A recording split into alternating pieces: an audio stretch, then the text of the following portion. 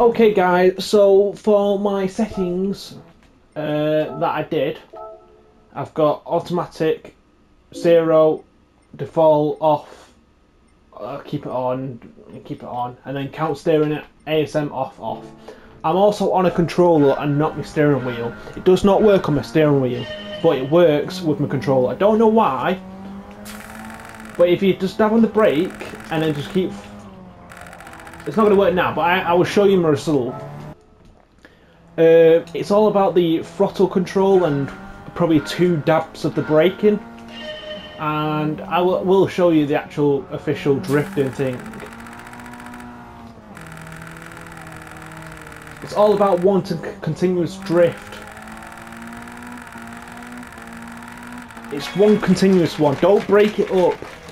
It's very difficult, trust me, it's very difficult. I'll show you again. I, I just don't know how to explain what I do.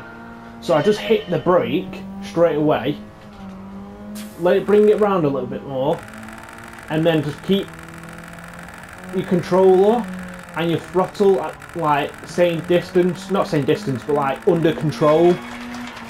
I just don't know how. But anyway, thank you for tuning in. Stay tuned for more and I'll see you all soon. Adios.